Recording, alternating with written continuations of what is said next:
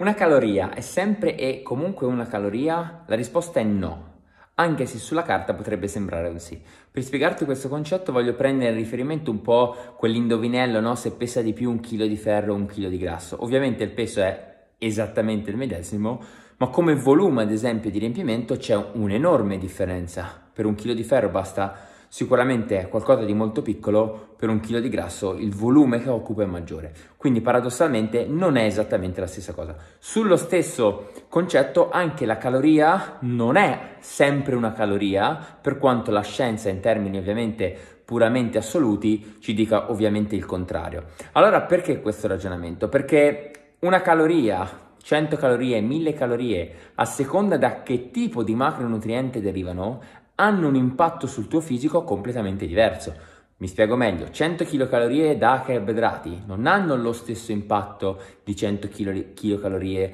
sul, diciamo, proveniente ad esempio dalle mm, proteine.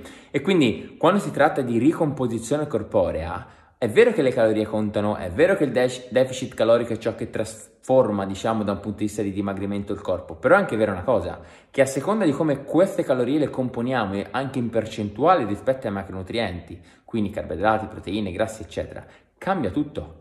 E questa ripartizione deve essere fatta sulla base del tipo di allenamento che andrai a sostenere.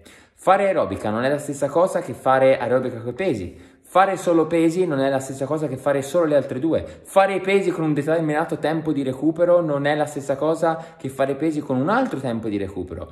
La logica che c'è dietro all'allenamento e alla nutrizione è complessa se non la sappiamo davvero analizzare nel dettaglio. E quindi molto spesso io vedo delle progettazioni che vengono consegnate ai ragazzi e alle ragazze che non c'è veramente una logica. Allenamenti che hanno un significato, una direzione ben precisa e nutrizione fatti da chissà chi non lo so, o anche se lo so ovviamente non lo dico, ma che hanno una logica completamente diversa. È come se nello stesso momento tu dicessi al tuo fisico oggi vai a destra e contemporaneamente vai a sinistra.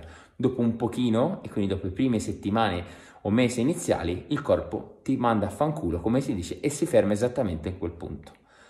Triple System è nato per questo, analizzare la tua posizione in maniera matematica o scientifica e trovarne la soluzione. Scrivimi.